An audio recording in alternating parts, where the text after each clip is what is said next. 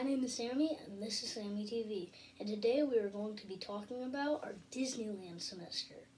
So this is a very exciting semester for Sammy TV. We are going to be reviewing in the next few weeks rides at Disneyland.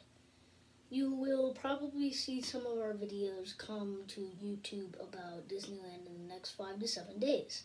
If they're not, nine to ten. We are editing and uploading our videos pretty much every week from now on. And whenever you see our videos and you click on them, we get more views. Now, we want more views, but something else that happens is we get a sense of happiness for people who enjoy Sammy TV. Now, I'm a 10 year old kid, and you know what I'm thinking. I'm thinking that Disneyland is the happiest place on earth. So, you would be right. Disneyland is going to be the best semester yet. I hope you enjoy our Sammy TV videos. Thank you for coming to Sammy TV's new semester.